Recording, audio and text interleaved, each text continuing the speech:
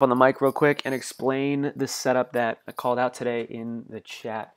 I'm not sure if anyone took it, but I certainly saw it happen, which was awesome.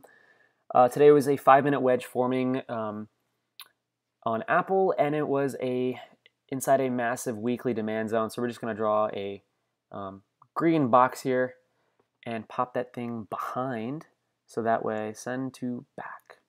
That way, well, it didn't really do much, but you get the idea. Um, so you, you get the idea that this is all in a demand zone here. And pretty much what happened was we were I saw that we were forming this nice wedge in this weekly demand zone. And I was watching it pretty much the entire time from one o'clock, really, 1.30ish when I saw it, you know, reject again. It come back down at two o'clock and then I was really looking at around 2.15. Maybe we're gonna get a pop here, and we said nope. So we're gonna come back down and you know, it literally waited till the last portion of the wedge here to pop. Um, and one thing that's important here is all that I'm looking at here is volume and price. Um, do not pay attention to these um, SMAs as they are irrelevant. I didn't even have these on the chart at the time. I was doing some other stuff, just forgot to remove them. But the most important thing is the volume. So if we're going to go in here and take a quick look, um, you can see that volume kind of increased out of this wedge. I was really looking for volume to pop out of the wedge. As you can see here on this candle, um, you know, nothing really came of this candle here. Uh, it was this volume bar, and it's pretty weak. But if you look at the volume bar that popped out of the wedge, this was your entry candle here.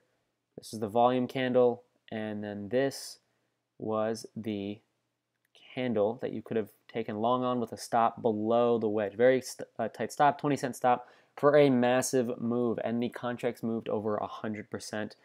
Um, so it was a very, very nice, beautiful trade. This is textbook setup here, a pattern forming inside a demand zone. Can't get much prettier than this.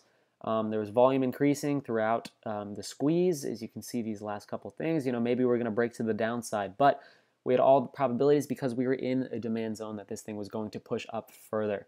So this would have been a great trade. Um, we'll look at it from the five minute.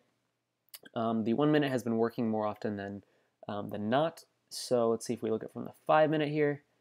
You're going to see it a little bit more clearer. So now you can see the wedge a little bit clearer now. And you can kind of see the pop here. That volume increased after the wedge, which means buyers were present. This is completely a bull move here.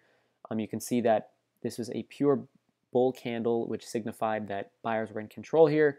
You know, yes, this was a pretty uh, bearish candle, but you know, price couldn't really move down after that. And the most important thing is you could have gotten long on any of these candles with a target of 130. That was the uh, original target. Um, pop out of the wedge for a nice quick scalp to 130 and it worked out beautifully. As you can see, volume just kept increasing until 130 and obviously the last two candles of the day always have increasing volume. So a very nice trade. All you need is price and volume. Just recognize this pattern, very textbook play. In a demand zone, volume increased as we popped from the wedge and you could have taken it as soon as we popped out of this wedge um, or waited for the candle to close with a stop below the wedge um, and that would have been an awesome trade. Um, so I hope you guys enjoyed this one, and let me know if you have any questions.